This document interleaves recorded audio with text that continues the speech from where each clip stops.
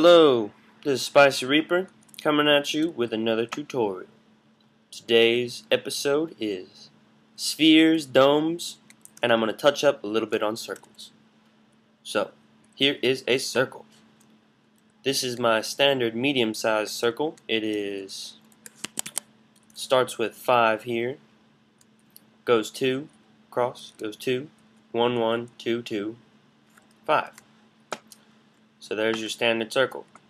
Now with practice and experience, with bigger and smaller circles, you can make um, different ones that look good. I mean, I can make a circle that can that is completely different in size and still looks good. But that's just experience. And build this one a few times, expand your horizons, and you'll get better with circles. Alright, moving on. So we using this same circle over here, I have built part of a dome. This is a quarter of the dome that I built. I didn't want to build the whole thing for demonstrational purposes so we can fill in the parts that we need to fill in. We're not going to be building the whole dome, but this little construct, I start with four of these pillars, and I fill in the middle. But how do we make the pillars? Alright, let's start there. So we have the five here, and then I go five up or make it five up. I go four up actually. One, two, three, four, five. Five up. Okay, so I use this next one. Two, two. Go two again because there's another two. Surprise, surprise. Two of the ones. Two ones.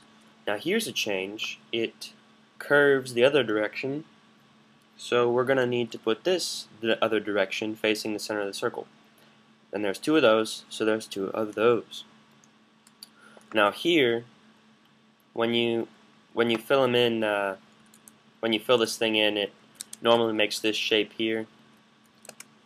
And what I like to do is build one up and fill in that hole. Because the sphere, my sphere theory, the spheory, that's clever, I know. it uh, it doesn't have an answer for that because it stops at two there. It stops at two. So I fill in that top one, whatever it is, and uh, works out well. So we're going to be building our own pillar here so we can get the hang of this.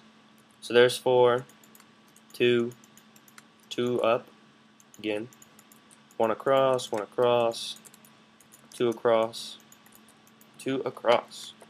So we're going to make this circle shape um, symmetrical on all sides so that it would look like uh, this is what it would look like if we had the whole thing filled up to the top. This is what the top patch would look like.